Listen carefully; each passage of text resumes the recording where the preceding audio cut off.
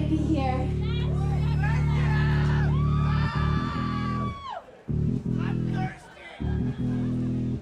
Okay.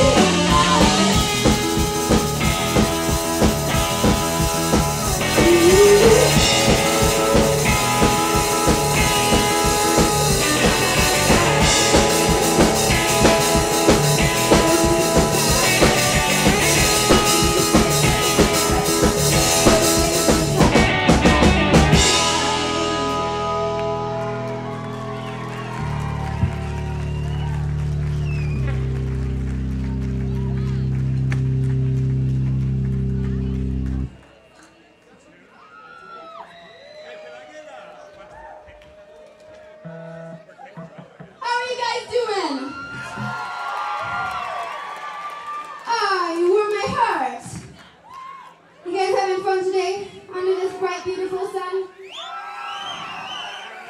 I feel very blessed to be here. I hope you do too. I thank you from the bottom of my little heart.